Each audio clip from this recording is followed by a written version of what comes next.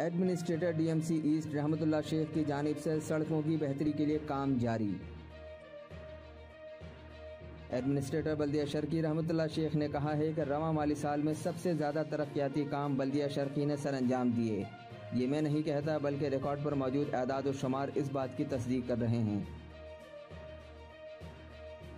इन ख्याल का इजहार उन्होंने superintending engineer Salman Memon, assistant executive engineer Mohammad Arshad के हमरा सिंधी मुस्लिम सोसाइटी में जारी सड़कों के असरकारी के कामों के मुआयने के दौरान किया। उन्होंने कहा कि ज़रूरत के मुताबिक दस्तियाब वसाइल में रहते हुए ज़्यादा से ज़्यादा इलाकों में तरक्याती काम सर अंजाम दिए हैं। मैारी तरक्याती काम से ज़िला शर्की के मकीन मुस्तफ़ हो रहे हैं। मैारी तरक्याती काम सर अंजाम देना एक मुश्किल मरहला था, लेकिन कुछ मुश्किल के बाद अब यह काम आसान हो गया है।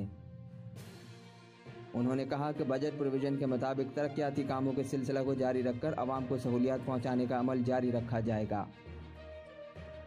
Venus H D news, Karachi.